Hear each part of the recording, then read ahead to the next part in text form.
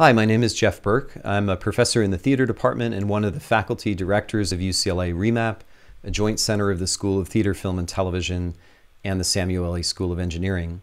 I'm going to talk very briefly about research in live experiences in extended reality, starting with an AR and immersive theater project called A Most Favored Nation.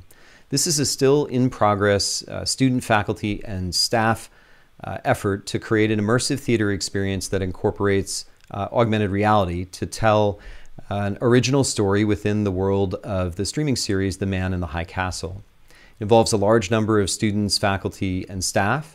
And what you're seeing here is a sample mobile AR view from the stage of one of our theaters that shows an overlay of AR content from one timeline in the story in which the Allied powers have won World War II uh, on top of a physical set uh, that tells a, a, sort of different story uh, of a timeline in which the Axis powers have won uh, World War II.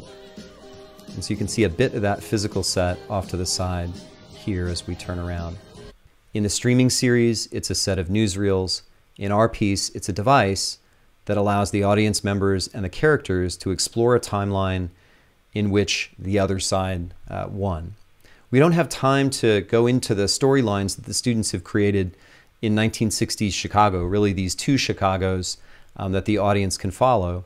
But I want to highlight a sort of technical aspect of the approach that's been uh, really fascinating for us. On the left, you're going to see in this video an example of a mobile AR view. Uh, on the upper right, a view of the person who's walking around the physical set uh, to see that view. And then in the bottom right, a uh, operator view actually across the Atlantic uh, with one of our collaborators who is looking at a VR view of all of the elements in AR plus what the audience member is seeing uh, more or less in real time. And it's this idea that we are creating stories within a multi-user simulation that can provide different perspectives to different people, uh, whether they're audience members or operators. That's become really fascinating for us. I'll run just a little bit of this. A lot of our testing has been sort of this on-stage portion, so that's why what we're talking about sounds like an immersive theater production. And then as we go into what we're doing in next fall, it's sort of now thinking about how we deliver it. It's super cool. That's great uh, too. Derica, you want to take the video? Yeah, go.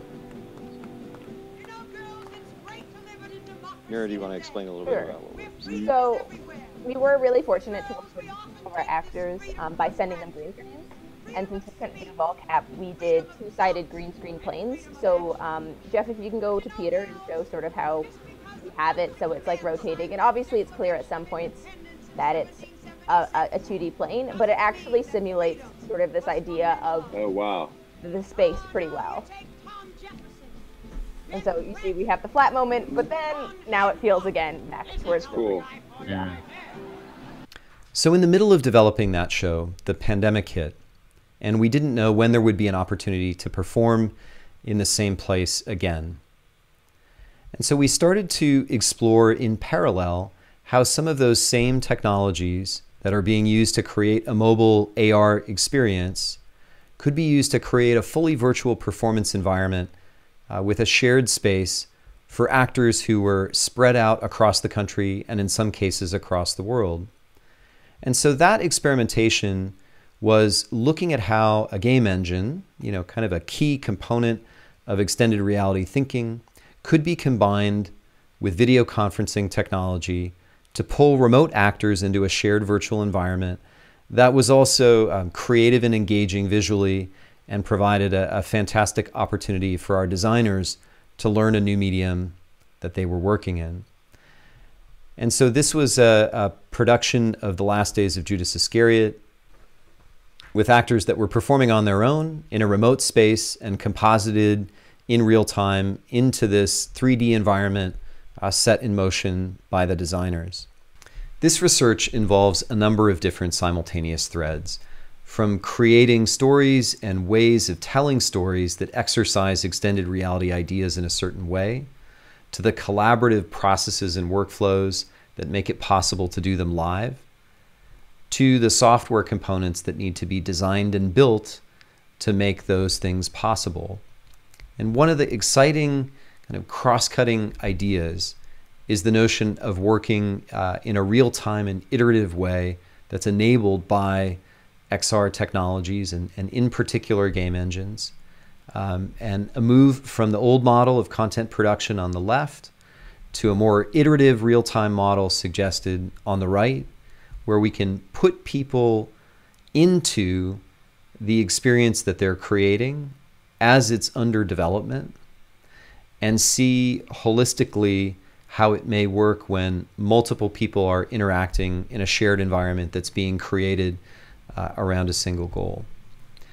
So, one of the exciting directions uh, that's happening next for us is to take some of those real time ideas, some of the extended reality experience from the pandemic, and start to re enter the physical world in our thinking and explore hybrid experiences that use technologies like LED walls to uh, bring XR experiences that we've been doing remotely um, on stage and into physical environments. And in particular, we're working on a pilot with the Anderson School of Management around immersive learning experiences that involve uh, both in person and remote students using some of these technologies.